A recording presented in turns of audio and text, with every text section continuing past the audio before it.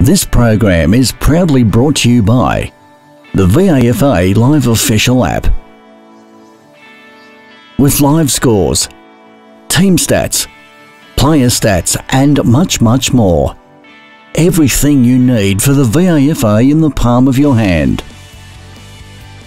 Download it from the App Store or Google Play now.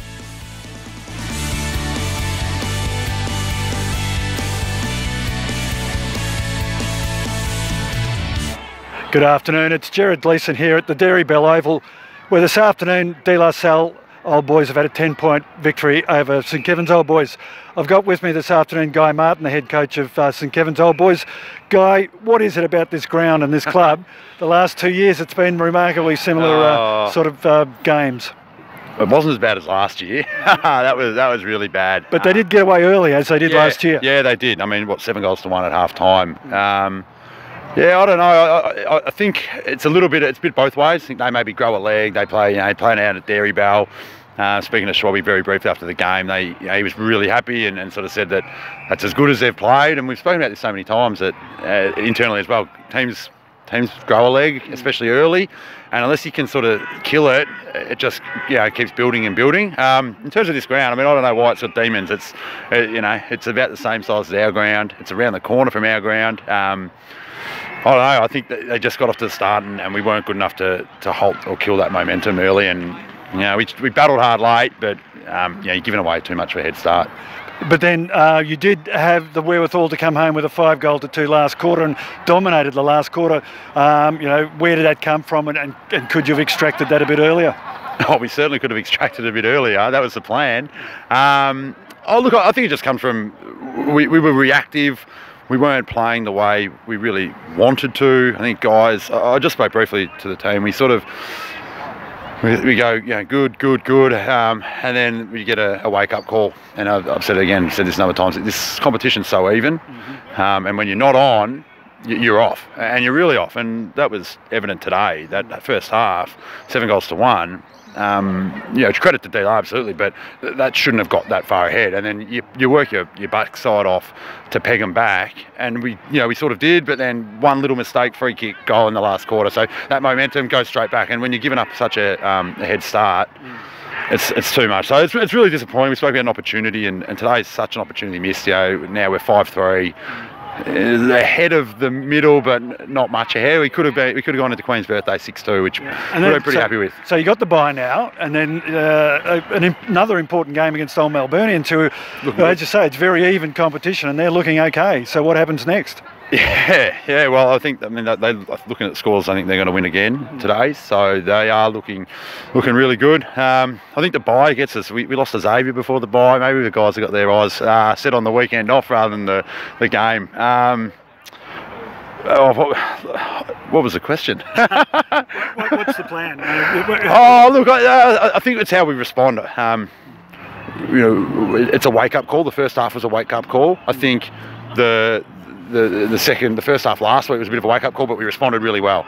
We couldn't quite respond now, so I, I, I put it back to the players and just see what's your response to a pretty disappointing game and a really winnable game.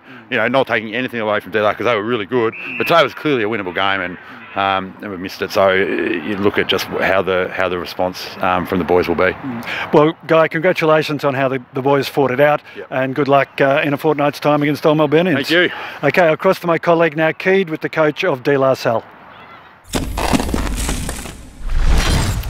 Thanks, Jared. I'm here with the winning coach for DLR, uh, Peter Schwab. Um, Peter, how did you feel about today's game? It was must have been a tough um, few weeks there. You were getting better each week. There was parts in games that you were getting better, uh, but this week you just came out and you were on fire from the start. Oh, it's great to win. You know, as you know, we've had a probably a month of losing. So uh, no, the, the the mood around the club's always been positive, and uh, we've kept working hard at our game. And you know, we focused on our effort first quarter. Had three of the uh, dinos who were playing out here, were all playing their 300th game, and two of the guys came in and just chatted about the club and what it meant to them. And I think you know that sort of you can never say that motivation wins your games. Well, I think that was a nice little add-on for the uh, the team, and the spirit was always up and bubbly. So uh, we, we started well, which we haven't done for a while. So to get away to a good start was excellent. Yep. Um, there was a couple of players that I thought really stood out for you today. It's hard to go through them all, but Hugh Nicholson had 35 disposals. What were your thoughts on his game? Oh, Hugh's been our best player all year. You know, he's been outstanding. So he's only lightly framed kid, but um, just super tenacious. Just bores in, hunts the footy. Um, just got a lot of respect for the way he goes about it. So yeah, I thought he was very, very good. Um, Fredo in the ruck, 60 hitouts was enormous.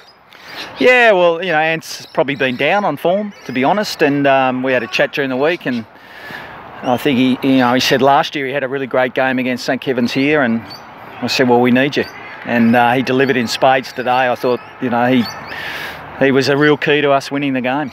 Yep. Um, and Thomas Humphreys was probably the most uh, solid defender all day down back for you guys. You'd be happy with his game? Oh, yeah, all time's our captain, and you know he's probably missed most of the year, and it just showed today how important he is to the group. Uh, his leadership's phenomenal, and uh, thought he was outstanding. Yep. Um, well, you've got a break now. Um, what do you do coming into the break where uh, the guys will be able to hopefully um, get over any injuries that they have from today or any sore spots? Do you get anyone back after the break? Uh, we're, not, we're pretty much close to full full strength, I think, by by the time we return. So that'll be a positive. We'll train Monday and Tuesday, and then I think give the guys a, a full week off and um, get away for the weekend and enjoy themselves, and then knuckle down leading into uh, round nine against Trinity, which is a massive game for us. Uh, oh, okay. Well, all the best for uh, against Old Trinity after the bye. Um, that's it down here where DLAR have run out winners over St Kevin's. Thank you.